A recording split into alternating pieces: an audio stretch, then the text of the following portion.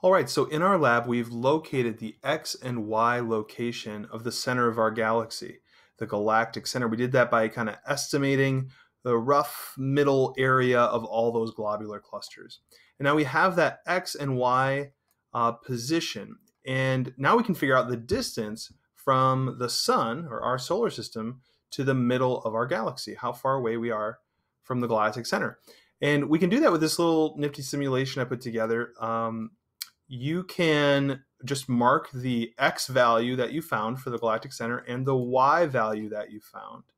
And this will automatically calculate then that distance. Now, this might look familiar to you, these triangles here. So I'm actually just using the Pythagorean theorem, um, which maybe if you remember from high school is a squared plus b squared equals c squared. But I'll save you that calculation and you can just plug in your x value and your y value, and then you can just read off the distance in kiloparsecs.